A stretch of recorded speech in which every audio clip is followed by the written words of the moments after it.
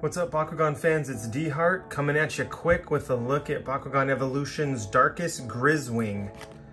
Here he looks at the back.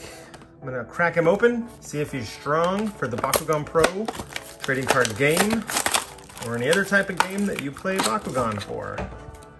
So clip him out of here, get a look at this guy. There he is, baddie gargoyle looking the purple and the black. Back tats.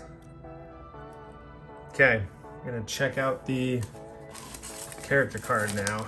Let's see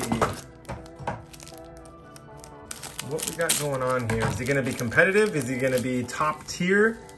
Middle tier competitive? Like he needs to be 1500 or more. Two shields. Typically means they're not strong unless they have a core bonus. Here is the gate card. So let's see if he can get up to 1500.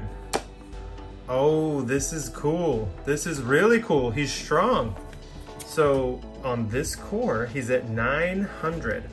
And then that little plus symbol means we get to pick up a core from the field, put it onto him. We pick up a magic shield, whether it was one of our own or our teammates, or our opponents, I mean. Um, and then he's 900 plus 650 is 1550 and one damage and you have two cores. Hopefully you stole an opponent's strong core. Griswing's strong, totally usable in competitive Bakugan gaming for sure. So totally worth the buy. Go out and grab this guy, give him a try. He won't make you cry.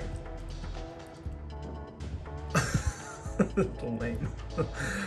uh, super exciting. I like this guy. Happy I opened him. Happy I bought him.